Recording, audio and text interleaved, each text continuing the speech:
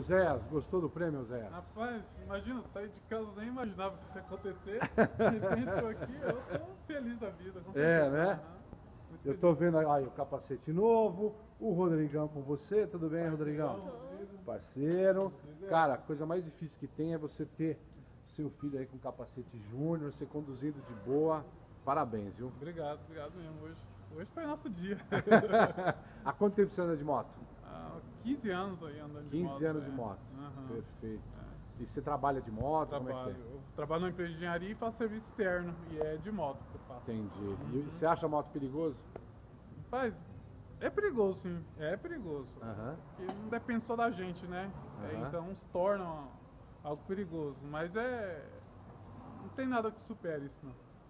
Você, mas o- a condução também, pelo que eu vi, uma pessoa que conduz como você conduz já deixa as coisas mais tranquilas, né?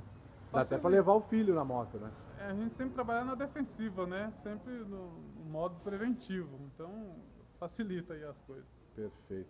Além de tudo, cadê o ingresso? Ó. Ah, ainda ganhou ingresso VIP. pro Moto 1000 GP, olha aí, ó. VIP. Ingresso VIP pro Moto 1000 GP. vai levar a esposa, vai levar o filhão. Vai lá.